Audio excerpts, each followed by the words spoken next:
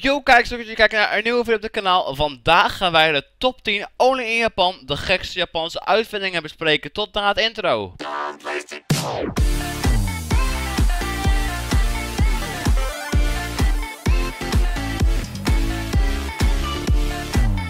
Ja, zoals ik voor het intro zei, we gaan de top 10 de gekste Japanse uitvindingen bespreken. Ja, dit zijn dus uitvindingen die zijn in Japan bedacht en worden ook alleen in Japan gebruikt. We beginnen bij nummer 10, dat is de minst gekste en nummer 1 is dus de gekste. Nummer 1, je kin rusten in de metro.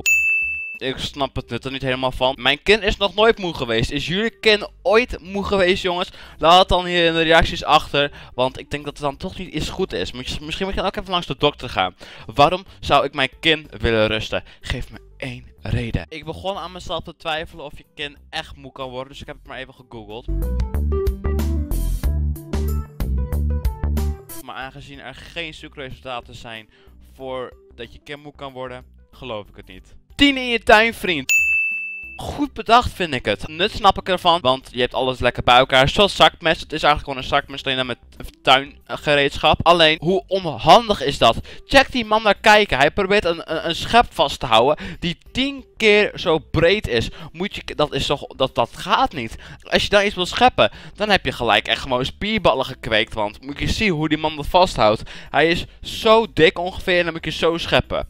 Het is goed bedacht, maar de praktijk is echt bullshit. Uh, het staat helemaal nergens op. Nummer 8. Hulp bij het druppelen. Check die man dan. Nou, hij zit zo. En dan heeft hij hier van die trechtertjes. Zodat daar de oogdruppelspul doorheen kan komen. Goed idee. Want als je helemaal alleen bent. En je kan niet dit doen. Zeg maar met je oog dat hij zo er dan erin kan spuiten. Dan is dat een goed idee. Maar check die man. Hij heeft, ongeveer, hij heeft best duur bril. Het is gewoon een montuurbril. Met waarschijnlijk gewoon echt glazen. Dus dat heeft sowieso wel meer dan 100 euro gekost. En dan heeft hij dus van die hele kleine gaatjes in zijn brilglazen gemaakt. Hoe zonde is dat? Dan ga ik echt niet geld aan uitgeven voor zo'n bril. Dan doe ik wel gewoon even zo en dan met wat spul erin doen. Maar ik ga er niet een heel glas voor kapot maken als ik daar die nog nodig heb. Want ik ga niet met gaatjes door mijn glazen lopen. Dat lijkt me nogal logisch. Nummer 7. Paraplu hoofdband.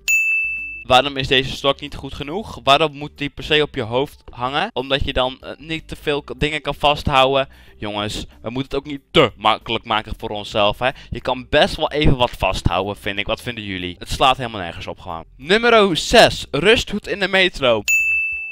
Wat is er mis met een lekkere, heerlijke kussen? Ik snap niet wat er mis is met een kussen. Waarom kun je geen kussen gebruiken? Of ga op een bank zitten waar je je hoofd naar achteren kan leunen.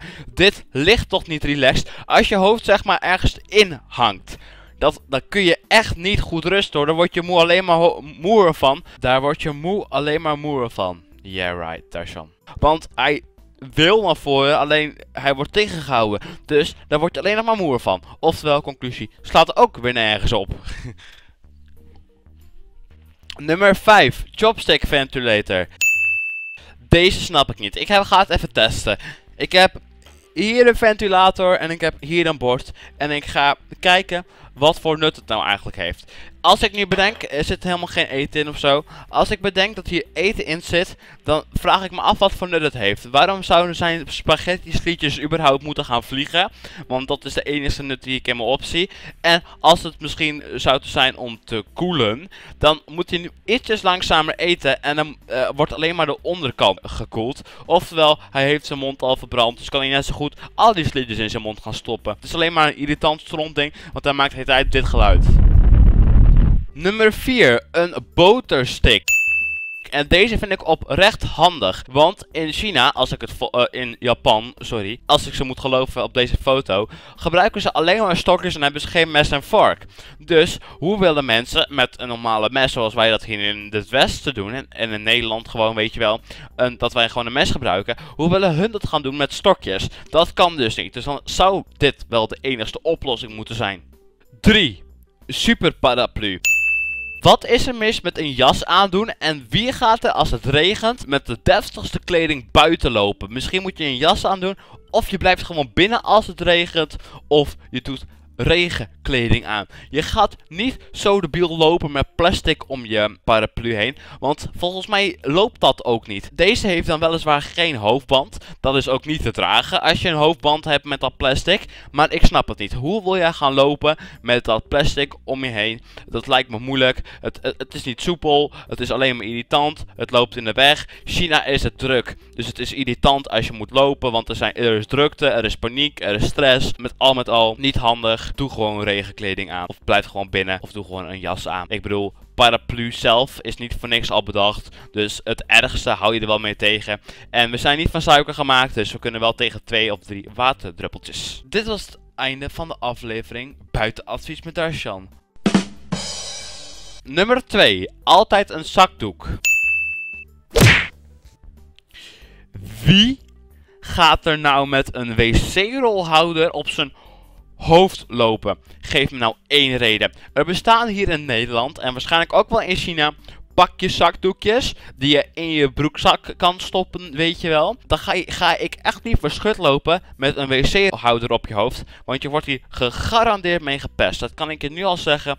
Je wordt door dit gepest. En ik kan ook niet meer lachen houden hoor, als ik dit zie. Dit slaat weliswaar helemaal nergens op. Dit is de nummer 1. En ik heb hier echt even een slow clap voor. Ik vind hem wel goed bedacht. Stel je voor, de vrouw gaat bij de vader weg en de vader heeft een kind. Hoe krijgt dat kind? Borstvoeding. Nou kun je hem ook gewoon de fles geven. Maar als jij de ervaring wilt geven om echt borstvoeding te geven. Ik weet niet wie dat zou doen. Maar als je vader bent, dan geef je je kind gewoon melk. Gewoon uit het flesje. Wil je echt je kind het gevoel geven dat hij uit de borst drinkt, kun je altijd dit doen. Ik vind het grappig bedacht beetje zinloos, maar ik vind hem wel grappig bedacht. Dit waren de 10 gekste Japanse uitvindingen. Ze waren weer apart. En Japan en China zijn altijd wat uniek. Hè. Ze zijn altijd wat anders dan de rest. Ze waren grappig. Er waren paar tussen. Bijvoorbeeld deze. Die echt totaal onnuttig waren. En zo waren er wel meer onnuttig. Maar niet, niet alles was onnuttig. Er zat ook wel een, een greintje logica tussen. Alleen ik denk dat de Japanners iets uitvinden. Maar dat doen ze alleen maar in theorie. Maar als ze het in praktijk uitvoeren, is het gewoon niet praktisch. Ik bedank jullie voor het kijken van deze top 10. Dit is dus even weer een nieuwe serie op iPlayteam. Wil jij een nieuwe top 10 zien? Druk dan op het duimpje omhoog. Druk daar gewoon op. Dan ga ik volgende week weer een top 10 maken. Um, ik zet een link in de beschrijving. Dat heet de alle top 10 lijstjes. Dat is deze website. Alle top 10 lijstjes allemaal reclame, dat hoef ik niet. Dit zijn de top 10 lijstjes. Uh, ga even naar die website toe en zet even in de reacties neer welk lijstje ik moet gaan bespreken. Want er zijn genoeg. Er zijn gewoon genoeg. Dus laat even weten in de reacties. Dan check ik jullie volgende week weer bij een nieuwe video. Hey, later guys.